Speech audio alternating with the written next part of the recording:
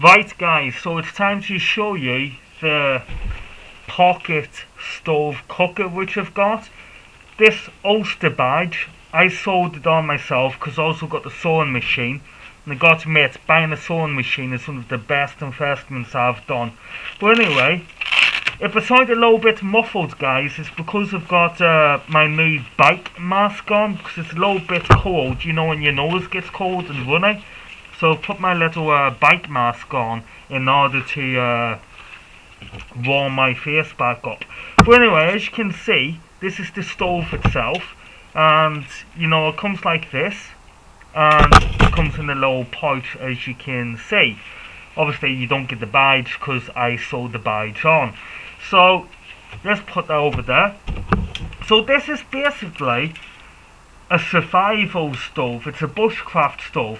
Now, us bushcrafters, we know about the triangular stove and the Swedish army, you know, uh, cook set and stuff like that. But, you know, I wanted something lighter because I've been carrying too much weight when I'm out in the boys.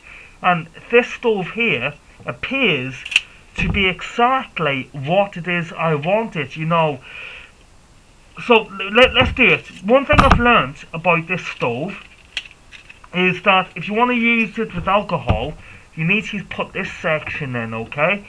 And in order to do that, you've got to ensure that the square, this side here, you've got to ensure that the square is on the right hand side. Otherwise, it won't fit. Don't ask me why, but it's just the way it is. So you put alcohol uh, container there. And you pour in that slit.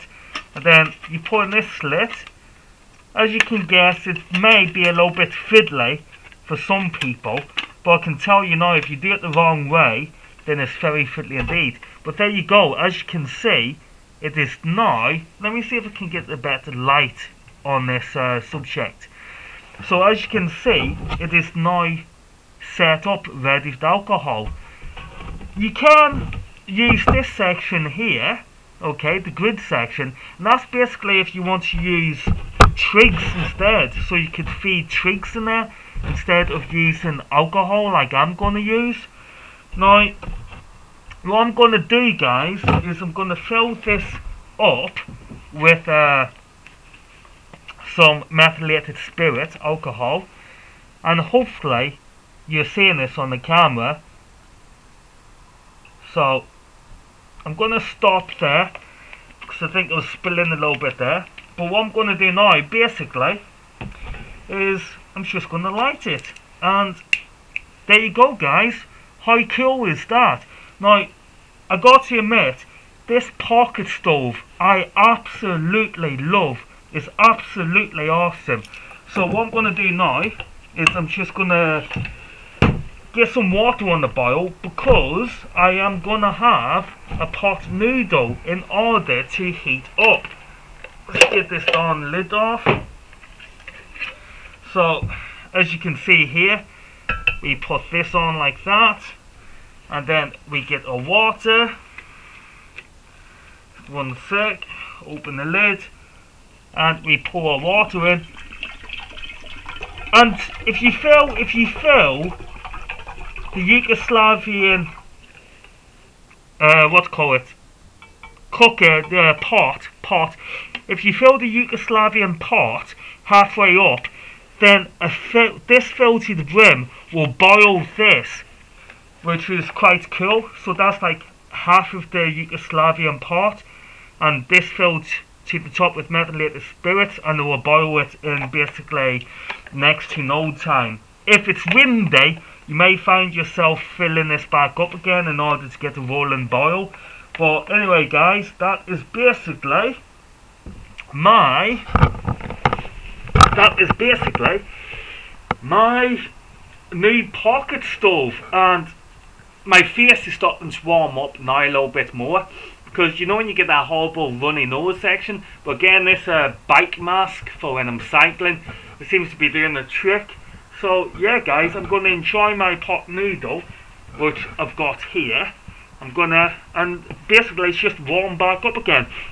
top tip, when you're using this pocket stove, okay, make sure that you bend the pan handle up like that because if you do that then it stops this from getting onto the fire so it stops it from getting red hot but anyway guys yeah that's my pocket stove.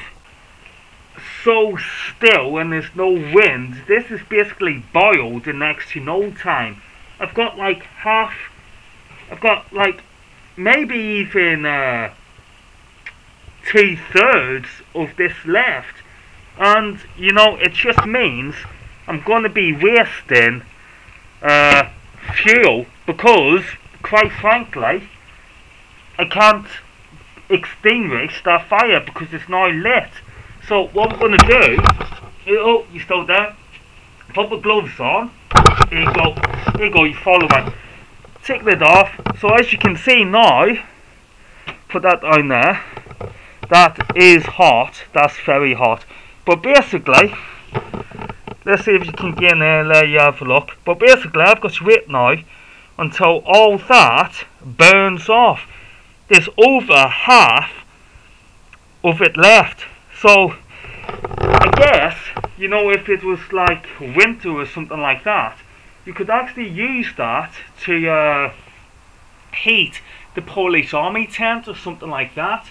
I've done that before and honestly, I'll tell you one thing, guys. In them Polish army tents, when you light something like that, it is ridiculously hot. You're absolutely roasting because it just traps the entire heat in with the canvas. And it's awesome. But again, look at that. I'm just going to have to wait. I'm just going to have to wait until that burns off. But I'm not going to cry because I've got my water I've got my pot noodle and that is really hot. I'm putting that back down again. Oh, wow, that's really, really hot. Didn't expect to be that hot. So let's go again quickly. Here we go, here we go, here we go, here we go. It's not burning me yet. There we go, I've gone off.